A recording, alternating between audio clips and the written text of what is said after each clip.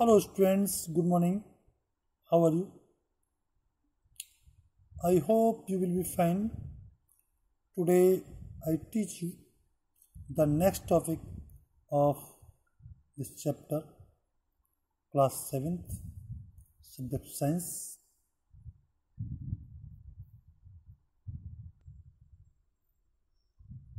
students कल मैंने आपको मौत के बारे में बताया था। तो मैंने कल बताया भी था आपको teeth and tongue within mouth play a very important role in the digestion of food दांत और जीव भोजन को पचाने में एक बहुत ही महत्वपूर्ण भूमिका निभाते हैं। ठीक है। अब मैं बात करूँगा टीथ के बारे में, समझिएगा।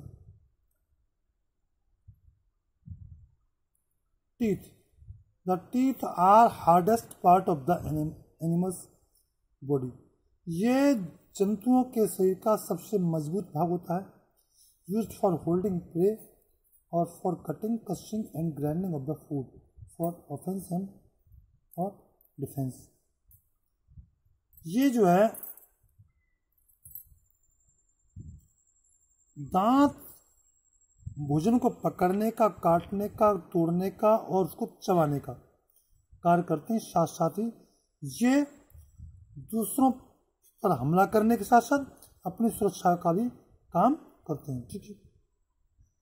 There are four different kind of teeth दांत मुख्य रूप से चार प्रकार के होते हैं। नंबर फ़र्स्ट होता है इंसाइजर सेकंड होता है कैनाइंस एंड थ्री होता है प्रीमोलर एंड फोर्थ होता है मोलर समझिए ना? यहाँ एक स्ट्रक्चर दे रखा है तो समझ लीजिए आप। पहला इंसाइजर दूसरा कैनाइंस तीसरा प्रीमोलर एंड चौथा मोलर ठीक है। इसमें चार आपके एक जबड़े में इंसाइजर होते हैं, ठीक है? और दो आपके कैनाइन होते हैं, और चार आपके प्रीमोलर होते हैं, और छः आपके मोलर होते हैं, ठीक है भाई? Incisor incisor are the chief biting teeth ये क्या है? मुख्य काटने वाले दांत हैं। These have a sharp straight cutting edge इनकी जो एज होती है, जो किनारा होता है, उस साइड होती है, बहुत ही शार्प होती है, ठीक है सीधी होती है, तेज होती है। In most cases incisor have one root अधिकतर केसों में इंसाइडर की एक ही जड़ होती है, अर्थात इंसाइडर में एक जड़ पाई जाती है। These are four in each jaw एक जबड़े में चार होते हैं। That is two in each half of the jaw ठीक है? The front incisors are longer and similar to those of the hand pair which are smaller ठीक है? इंसाइड होते लगभग लॉन्गर होते हैं सामने के। ठीक है? और समान भी होते हैं एंड जो हैंड पेयर होते हैं, ये सिमिलर होते हैं। ठीक है भाई? अब बात करें कैनन्स की। तो canines are the more pointed teeth at either side of incisor there is one canines in each half of the jaw behind the incisor this teeth serve to tear flesh canines का मुख्य कार्य होता है चीज़ों को चिढ़वा करना, मांस को चिढ़वा करना, ठीक है? अब बात करेंगे हम प्रीमोलर की।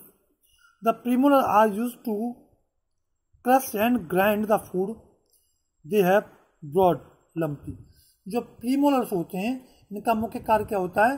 भोजन को तोड़ना होता है ग्राइंड करना होता है। और इसमें जो ऊपर उभार पाए जाते हैं दाढ़ों के अंदर, उन्हें कसकस कहते हैं, ठीक है? कभी कभी तो किसी किसी दाढ़ के अंदर लगभग तीन या चार कसकस हो सकते हैं, ठीक है? और के अंदर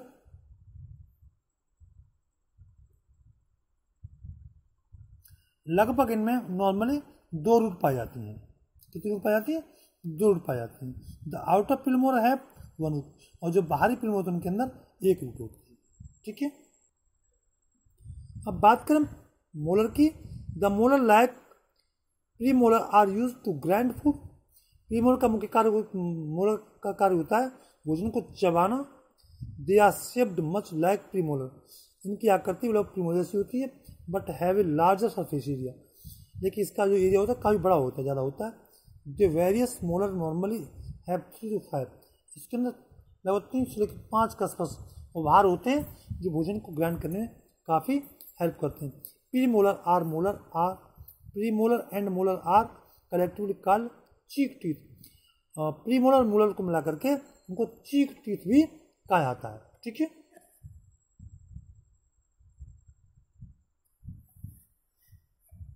ये एक डायग्राम दे रखा है।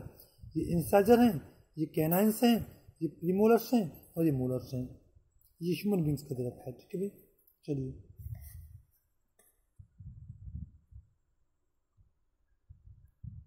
The permanent teeth being to erupt after the disease deciduous teeth starting falling out ठीक है? जो परमानेंट टीथ होते हैं, मुख्य दांत जो होते हैं, वो दूध के दांतों के बाद आना शुरू होते हैं। The first permanent tooth appear when is child is about six to seven year जब बालक छः से सात वर्ष का हो जाता है, तब उसके दूध दांत गिरना गिर जाते हैं और उसके अंदर परमानेंट टीथों का आरंभ परमानेंट टीथों का आना स्टार्ट हो जाता है। Between the age of six twelve twelve जब बालक की उम्र छः से बारह वर्ष होती है डिसाइडस टीथ आर रिप्लेस्ड और जो दूध दांत रिप्लेस होते हैं by permanent teeth permanent teeth वहाँ पर उत्पन्न होते हैं। The last permanent teeth erupt after the age of seventeen. अंतिम परमानेंट टीथ उसके सत्रहवीं वर्ष में आकर के उत्पन्न होते हैं। There there are thirty two permanent मनुष्य के अंदर बत्तीस परमानेंट टीथ होते हैं। सोलह, ऊपर के जबड़े और सोलह नीचे जबड़े में तो कह सकते हैं, यहाँ पर इंसाइडर की संख्या चार होती है और कैनान की संख्या, ये चार इंसाइडर होते हैं, दो कैनान होते हैं, चार प्रीमोलर होते हैं एंड सिक्स मोलर होते हैं। इस प्रकार से एक जबड़े में सिक्सटीन दांत होते हैं। The last molar in each jaw appear very late and are called ठीक है विजडम टीथ एक लास्ट में दांत पन होता है, ठीक है, काफ़ी लेट उसे विजडम टीथ कहते हैं जो होते हैं अक्ल दांत। ठीक है भाई? We know that bacteria present all around us हम जानते हैं कि हमारे चारों बहुत सारे बैक्टीरिया होते हैं, और mouth too contain bacteria if we do not clean our teeth properly यदि हम अपने दांत को मुख को ढंग से प्रॉपर साफ़ ना करेंगे तो क्या होगा? हमारे चारों बहुत सारे जो बैक्टीरिया हमारे दांतों के अंदर चले आएँगे और वो अंदर अपना bacteria start grow on the food particle और फ़ूड पार्टिकल बैक्टीरिया ग्रो करना आरंभ कर देंगे। ठीक है? तो क्या होगा कि हमारे दांतों के ऊपर जो एक प्लेक्यू ठीक है? एक जो गन जो भोजन का पदार्थ है, वो जमना शुरू हो जाएगा। और द बैक्टीरिया प्रोड्यूस एसिड और बैक्टीरिया क्या करेंगे वहाँ पर एसिड प्रोड्यूस करेंगे which gradually dissolve the hard tooth enamel और हमारे दांतों के ऊपर सबसे बॉडी की हार्ड परत होती है एनिमल की, उसको डैसी कर देंगे गला देंगे, उसे सड़ा देंगे. So we should clean our teeth ठीक है प्रॉपरली आफ्टर एवरी मील इसीलिए हमको प्रत्येक दिन भोजन करने के बाद में दांतों को अच्छे साफ़ करना चाहिए ब्रश करना चाहिए, ठीक है.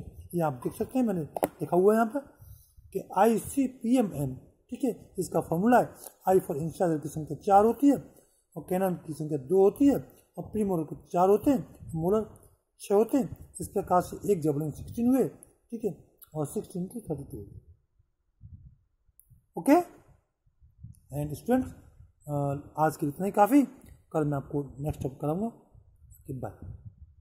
And take care.